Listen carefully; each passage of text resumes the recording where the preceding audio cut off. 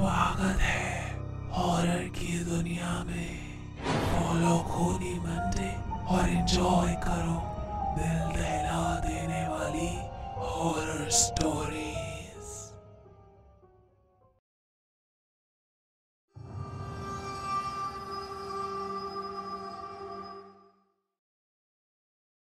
ये कहानी उदित की है। उदित की एक्साइटमेंट उसके चेहरे से ही झलक रही थी। पूरे एक साल तक कॉलेजेस के स्टडी फ्रॉम होम मोड में फ़ंक्शन करने के बाद। फाइनली वो दिन आ गया था जब उदित को उसके कॉलेज ऑफलाइन मोड में एक्सपीरियंस करने का मौका मिला था। उदित ने पुणे के कॉलेज में एडमिशन लिया था। दिल्ली से पुणे का सफ़र उदित के लिए बहुत से मिक्स्ड इमोशंस ला रहा था। वो दिल्ली से था तो उसके पेरेंट्स ने उसके रहने के लिए चॉइस बॉयज़ हॉस्टल को चुना। एक अच्छे मोहल्ले में बना वो हॉस्टल उदित के रहने के लिए परफेक्ट था। वहाँ रहने के कुछ ही समय में उदित अपने सभी हॉस्टल मेट्स के साथ घुल मिल गया था। वो लोग पढ़ाई के साथ साथ खूब मज़ाक मस्ती किया करते थे। उदित ने अपने फ़र्स्ट ईयर में एक सब्जेक्ट का एग्ज़ाम मेडिकल सिचुएशन की वजह से मिस किया था और उस सब्जेक्ट में पास होना कॉलेज के नेक्स्ट ईयर में प्रोसीड करने के लिए बेहद ज़रूरी था। इसलिए उसी सब्जेक्ट के री एग्ज़ाम के लिए उदित एक रात अपने कमरे में अकेला बैठा पढ़ रहा था। उसके सभी रूममेट सो चुके थे और उदित अपनी स्टडी टेबल पर पढ़ाई कर रहा था। उदित को गाने सुनते हुए क्वेश्चन सॉल्व करना पसंद था और वो अपने कानों में ईयरफोन्स पहने गाने सुन रहा था। पर अचानक उसके गाने चलते चलते बंद हो गए। उसने अपने फ़ोन को उठाकर देखा तो उसकी बैटरी खत्म हो गई थी। उदित फ़ोन को चार्जिंग पर लगाने के लिए उठा तो उसे किसी की सिस्कियाँ सुनाई दी।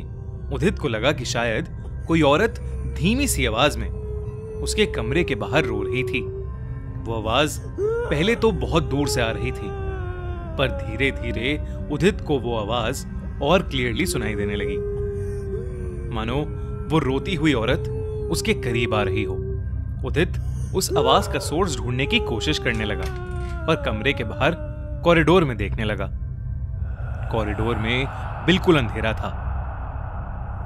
पर वो श्योर था कि उस कॉरिडोर में से ही वो आवाज़ें आ रही थीं।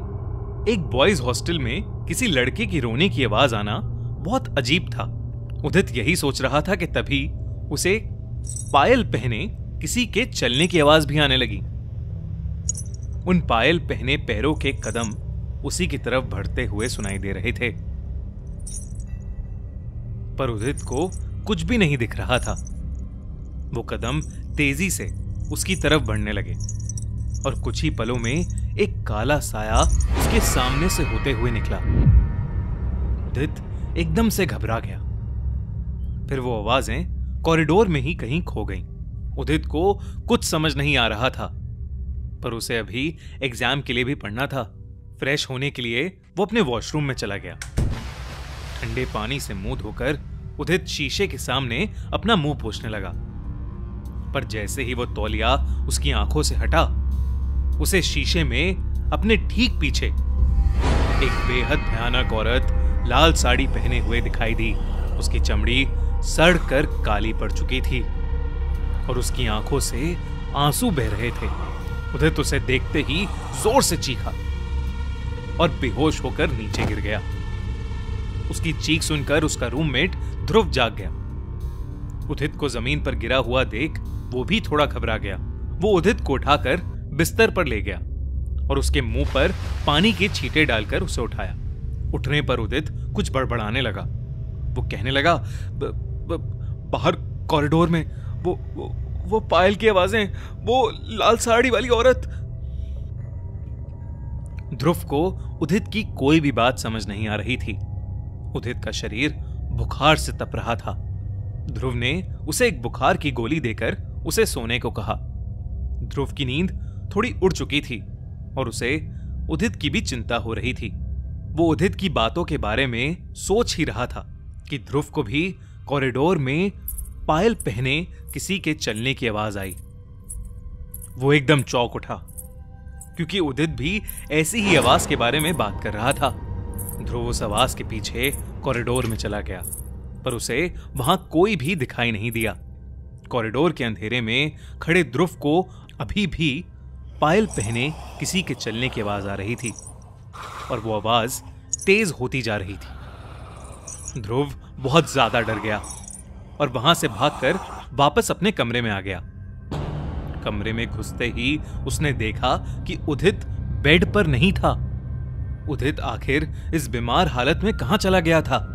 इतने में ध्रुव को फिर से कॉरिडोर से एक आवाज़ आई। उसे लगा कि शायद उदित कॉरिडोर में ही उसे ढूंढ रहा होगा। वो जैसे ही बाहर गया, उसे सामने से उसकी तरफ़ बढ़ते कदमों की आवाज़ सुनाई देने लगी। उन कदमों की आवाज़ तेज हो रही थी कि तभी उसके कंधे पर एक हाथ आया। ध्रुव की हार्ट बीट तेज हो गई और वो झटके से पीछे मुड़ा। उसने देखा कि पीछे उदित खड़ा था। उदित ने ध्रुव से पूछा कि उसे क्या हुआ है? और वो इतना डरा हुआ क्यों है? ध्रुव कुछ नहीं बोला। उदित ने फिर से उससे पूछा कि क्या उसे भी वो सब आवाज़ें सुनाई दी? ध्रुव को अब कुछ समझ नहीं आ रहा था। तभी ध्रुव को एक औरत के रोने की आवाज़ सुनाई देने लगी। और इसके बाद ध्रुव ने जो देखा, उसे देख उसकी पूरी रूह काँप उठी। उदित के ठीक पीछे। वही लाल साड़ी वाली औरत अपना भयानक चेहरा लिए खड़ी हुई थी। वो औरत ध्रुव के पास आई, उसे घूर के देखा और पीछे मुड़कर कॉरिडोर के दूसरी तरफ़ रोती हुई चलने लगी। ध्रुव को मानो कोई सांप सूंघ गया था। इतना भयानक एक्सपीरियंस उसके साथ आज तक नहीं हुआ था। धीरे धीरे वो औरत अंधेरे में कहीं गायब हो गई। ताज्जुब की बात तो यह थी कि उदित को इस बार कुछ नहीं दिखा और ना ही कुछ सुनाई दिया। अगले दिन सुबह सुबह ध्रुव और उदित जब वार्डन के पास ये बात लेकर गए तो वार्डन ने उन्हें बताया कि पंद्रह साल पहले उस हॉस्टल के अंदर एक औरत की लाश मिली थी। किसी को भी उस औरत के बारे में कुछ नहीं पता, पर तब से कई बच्चों ने रात के समय कॉरिडोर में एक लाल साड़ी वाली औरत को देखा है।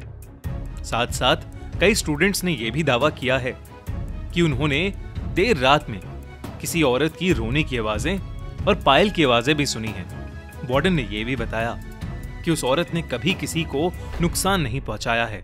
उसकी आत्मा बस उस हॉस्टल में भटकती रहती है और इसलिए आज भी वहाँ लोग बिना किसी डर के रहते हैं। वार्डन की ये बात सुनकर उदित और ध्रुव बुरी तरह डर गए, क्योंकि जो उदित और ध्रुव ने देखा था, वो ज़रूर उसी औरत की आत्मा थी। कोई माने या ना माने, पर उन दोनों ने उस आत्मा को अपनी आँखों से देखा था। अगले ही हफ़्ते उन दोनों ने किसी और हॉस्टल में शिफ्ट कर लिया। लेकिन उस रात को वो शायद कभी नहीं भूल पाएँगे। दोस्तों, क्या आप ऐसे हॉस्टल में रह सकते हैं? हमें कमेंट्स में ज़रूर बताएँ। और हाँ हमारे चैनल खूनी मंडे को सब्सक्राइब करना मत भूलना।